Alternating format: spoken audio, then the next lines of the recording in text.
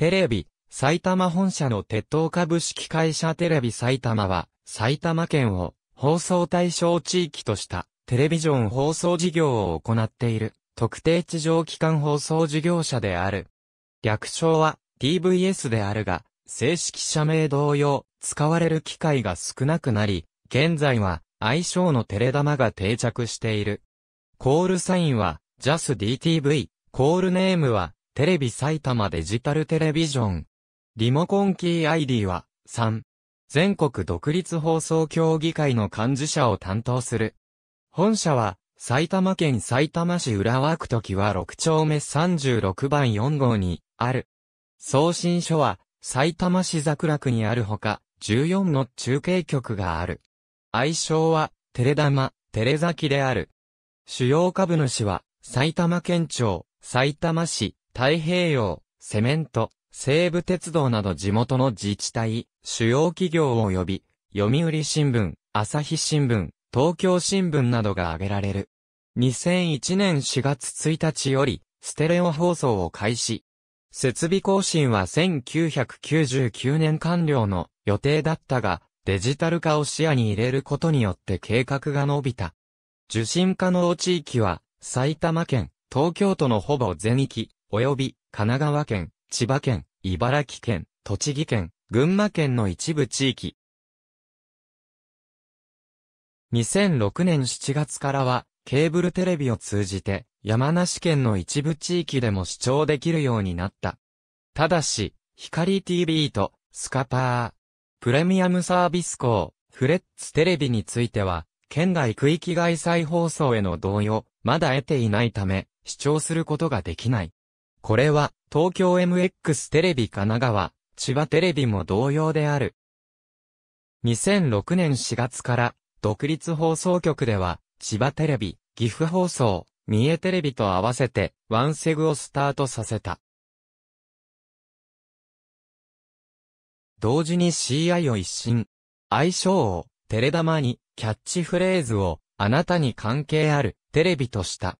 なお、関連会社のテレビ、埼玉プランニングでは2006年3月までのロゴデザインが継続使用されている。局のシンボルキャラクターも従来のゆめちゃん、元気くんから卵をモチーフにしたキャラとなった。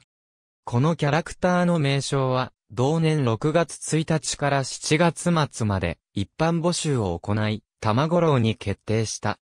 ところが決定当初では、頻繁に使われていたものの時間の経過とともに徐々に使用頻度が落ち、2008年10月からテレタマくんに名称変更された。この名称は一般募集ではない。変更の理由について、同社はテレ玉の故障を広めるためと説明している。他にもテレ玉くんの友達として、水玉ちゃん、うず玉くん、ガリ玉くん、ご先祖玉、デカ、玉さんがいる。2021年3月30日時点で、放送開始時刻は、平日が4時40分、土曜日が4時25分、日曜日が4時55分で、放送終了時刻は月、木、土日曜日が25時44分、日、水曜日が26時14分、金曜日が26時19分である。なお、高校野球ダイジェストを放送する場合は、時間が変更される。また、オリンピックや、サッカー FIFA ワールドカップ中継など、国際スポーツイベントを深夜帯に放送する場合は、大幅に変更される。埼玉西武ライオンズ浦和レッズ、大宮アルディージャなど、地元スポーツチーム関連の番組制作に力を入れている。長年西武ドームでの西武タイタパリーグ球団、セパ交流戦をライオンズアワーとして放送している。2019年まで西武のロードゲーム戦や西武以外の試合の時にはヒットナイターという番組名で放送していた。ライオンズアワーは1987年から2004年まではプロ野球中継放送では、極めて稀な解説者なしの実況のみという放送体制で、2005年からは、元西部の辻初彦他数名が解説者としてついた。一方、東京ケーブルネットワークとの提携による日本ハム戦を中心としたヒットナイターでは、宇田東職、島田信俊らが解説者として出演していた。2007年以降は、西武 OB の大友進と松沼正幸が解説を担当している。実況は主に同局 OB の上野明、元文化放送の坂慎一郎の両アナウンサーが担当している。かつて TBS がライオンズをバックスポンサードしていた時期は、ライオンズアワーを TBS 関連会社 TBS ビジョンが制作協力し、TBS のスポーツ担当アナウンサーが実況を行ったこともあった。2008年5月23日放送のライオンズアワーワセパ交流戦での対巨人戦で、テレダマ以外に関東圏の地上波テレビ局では中継せず、巨人戦の地上波テレビ独占中継となった。また2011年6月1日の大巨人戦も放送し、テレダまでは3年ぶりに大巨人戦を中継した。夏には、高校野球埼玉大会の、県営大宮公園球場で開催される試合を生、中継している。その模様及び、他球場の試合については21時台に、高校野球ダイジェストとして放送される。実況は主に、上野明、矢野義彦各アナウンサーが担当している。ローカルニュースや、天気予報、埼玉県庁や県内各市役所による広報番組、県内のビジネス情報を伝える経済番組、公営競技中継といったコンテンツも多い。また、埼玉県知事や県議会の選挙が行われる時には、特別番組を組んで、開票速報を流すほか、国政選挙の時にも埼玉県内の各選挙区の開票速報をする。定期的に県知事の定例会見を生中継するが、県議会中継は、関東圏の独立放送局の中で唯一、実施例がない。天気予報の番組で使用されている BGM は、埼玉県との関係が深いピアニストの村松健が作曲したものである。特徴的なピアノソロの演奏も村松によるものである。バラエティ番組では2014年から千鳥の関東発刊番組として、いろはに、千鳥を放送開始。1回で8本撮りという撮影スケジュールの過酷さから、全国ネットの番組でもネタにされるなど人気を博し、全国各地で放送されるようになった。また、当番組の成功を受け、関東地方の独立局では吉本工業、所属タレントによる冠番組が次々と制作されるようになった。ステレオ放送開始頃より、深夜帯の一部で UHF アニメを放送している。その一方で2007年秋に、京田辺警察官殺害事件や児童売春事件の影響を受けて、日暮らしのなく頃に会の打ち切り、子供の時間を開始直前に急遽放映中止といった出来事が相次いだ。詳しい事情は該当アニメの記事参照。この騒動は2007年10月26日の朝日新聞で取り上げられており、その中で、局側は、深夜帯といえども、青少年の存在を無視できなくなったと、放送チェック強化に踏み切った理由を説明している。放映作品のチェックも、従来の絵コンテ段階から納品段階へと変更しているという。関連会社に、テレビ、埼玉ミュージックがある関係で、特に演歌、歌謡曲関係の音楽番組が多い。大晦日には BS 日、テレフジテレビネクスト、日本放送などの大手メディアと共同で NHK 紅白歌合戦と同時間帯に桃色歌合戦を生放送している。また、近年では元日に放送されている埼玉政財界偉人、チャリティ歌謡祭がネット実況で賑わいを見せるなど人気を博しており、番組のハッシュタグがツイッタートレンドの1位を獲得した実績もある。1989年の昭和天皇崩御の際は、日本民間放送連盟の取り決めにのっとり、崩御関連番組を編成することとなったが、自前での番組制作は不可能なため、オブザーバー加盟していた日本テレビ系列の放送をテレビ神奈川、千葉テレビ、群馬テレビと同様に、ほぼフルネットで対応した。2006年2月14日午後11時30分2月15日午前7時30分にかけて放送された TBS 系列で放送のトリノオリンピック中継や同年7月6日午前3時35分6時30分にかけて放送されたテレビ東京系列で放送のドイツワールドカップ中継の放送はテレダマでは異例の終夜放送となった。また2005年8月には、台風11号が首都圏、接近、2019年10月には、令和元年東日本台風が首都圏通過のため、フィラーを流し終夜放送を行っていた。2005年12月1日から地上デジタル放送を開始。同時にデータ放送をスタート。当初は2006年に開始する予定をしていたが、NHK とキー局で使用している東京タワーから発射する電波が2005年12月より正式に県内をカバーするためにこれに合わせる形での開局となった。また秩父、小玉地域は2006年10月より試験電波、同年12月より放送開始した。これで県内の99%が視聴可能となった。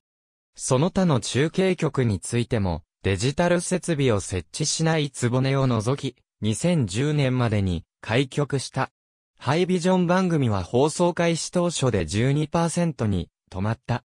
ハイビジョン化は独立放送局の中では積極的であり、自社スタジオは2014年4月からすべてハイビジョン対応になり、取材 VTR や天気画面、お天気カメラの完全ハイビジョン化がほぼ完了しつつある。近年は原則16、9比率制作となっている UHF アニメ番組はデジタル放送開始当初こそ超額縁状態だったが、2006年3月よりフルワイドで放送されている。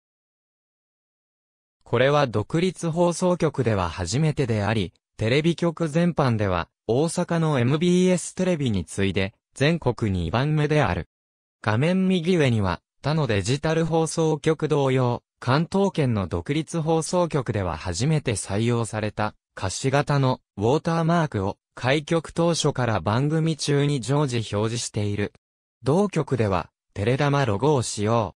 開始当初から2006年3月31日まで、旧、テレビ埼玉ロゴを表示。2006年4月1日は、卵ローと、テレダマロゴが表示されていたが、放送の途中で消去され急遽現行のデザインに変更された。ただしウォーターマークが表示されない番組が存在する。独立放送局から同時ネットされている番組や通販番組では現在表示されていない。ただし、首都圏トライアングルの同時ネット番組の中で、シャキッと、猫の額ほど、ワイド内では、番組開始から5秒間と番組放送終了の5秒前から5秒間は表示される。通販番組等も番組放送終了の1秒前から1秒間は表示される。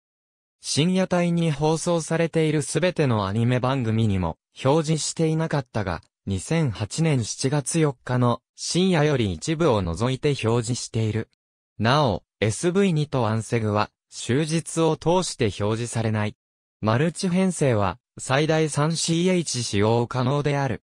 同局では 031CH を SV1、032CH を SV2 とそれぞれ称している。デジタル放送開始直後の放送終了後に試験放送を実施したことがあった。現在レギュラーでは実施されていないが、2007年1月16日に初めてマルチ編成を実施した。また2008年1月17日にも同様に実施した。両日とも 031CH はアナログ放送同様の通常放送 032CH と 033CH に競輪中継をそれぞれ放送された。現時点では2番組同時で放送された実績があるが、3番組同時に放送されたことはない。2008年1月21日から2008年3月31日まで、毎週月曜日午後3時からの1時間と午後7時からの1時間に、同年1月23日から同年3月26日までは、毎週水曜日午後8時からの1時間に実施されていた。031CH は、アナログ放送同様の通常放送、032CH にショップチャンネルを買い物エンターテインメントが放送された。ただし 033CH は、現在放送されていませんなどの表示が出て、テレビ画面は映像が映らない。なおマルチ編成開始、終了の時は、フェードブラックアウトインする。EPG について、開始当初から番組タイトルの最後に、ステレオ放送は、再放送はなど括弧内で、放送形態を表記していたが、2007年5月25日よりの中に放送形態を表示、2008年4月より、ハイビジョン制作番組に HV が段階的に表記されるようになった。ただしこの HV マークに関しては、番組のハイビジョン化が進むにあたって2010年頃より表記されなくなっている。ワンセグは2006年4月1日より開始。現在は本放送と同じ番組を流している。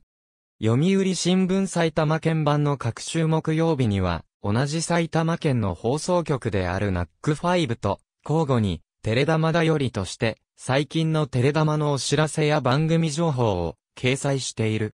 以前にも2004年4月から2005年3月まで、テレザ機能オフマイク、2005年4月から2006年3月まで、テレサキだよりをそれぞれ掲載していた。またデイリースポーツ、東京本社版のラテランでは、テレ玉の放送局表示カット部分に、前述の、あなたに関係ある、テレビという同局のキャッチフレーズが記されている。1990年代後半まで、放送開始時刻が、軒並み遅く、5時台まで、試験電波を流し終えた後に放送開始時間まで、カラーバーのテストパターン画面で BGM を流す、フィラー様の放送を行っていた。携帯サイトでは、深夜アニメ各作品の解説や、各あらすじ、作品関連の専用待ち受け画像など様々な情報を充実させている。テレビ局側で携帯サイト上で深夜、アニメ作品群に関して網羅的に掲載しているのは、独立放送局では、テレタマのみである。なお、携帯サイトで格話あらすじや、待ち受け画像を得ようとする場合は、一部を除き、有料会員登録が必要となる。2021年7月から民放公式配信サービスの TVer に参加し、自社制作番組、いろはに千鳥の配信を開始した。企業、団体は、当時の名称。出展、筆頭株主は、埼玉県。第2位株主は、放送対象地域が重複する日本テレビ放送網。1992年3月31日2003年3月31日、親局浦和局中継局 CH 番号 V は、垂直変波は、デジタル開始の際に新設された中継局。アナログ放送2011年7月24日、低波時点 CH 番号 V は垂直変波。丸はアナログ完全終了後に廃止となる中継局。太字のつぼねはパススルー再放送をしている。2006年にチャンネル名をテレダマとしてからは自局 CM を放送するようになり、滑稽な作品が多い。テレダマを見てもらうためにテレビリモコンをゴキブリ退治に利用したり、植木鉢に土と一緒に埋めたり、紙粘土で包むして、チャンネルを変えられないようにする、ブラックユーモア仕立てとなっている。これらは、地元大宮育ちのタレントである、土田照之が、自ら出演する、俺たち。クイズマンの1コーナー、華麗なる、クイズで何度か、埼玉ローカルネタとして紹介している。そこでは、テレタマくんも、紹介の度に登場していて、テレタマ及びテレタマくんが全国区で知られる機会となっている。稀に、埼玉のスポンサーの CM と一緒に AC ジャパンの CM が放映されることもある。2020年2月、新型コロナウイルス感染症拡大の影響で、メットライフドームで開催の埼玉西武ライオンズ主催試合の TVS ライオンズアワー埼玉スタジアム2002で開催の浦和レッズの主催試合、ナック5スタジアム大宮で、開催の大宮アルディージャの主催試合といった、スポーツ中継の予告 CM や、埼玉県内のテーマパークや、施設などの一部の CM が自粛され、AC ジャパンの CM に差し替えられた。海外再放送番組によって、断り書きのテロップ表示が入る。基本的に、この番組は出月日に放送されたものです。と下、または上表示。場合によっては月のみ表示する。年末年始には、高校ラグビーの中継を放送することもある。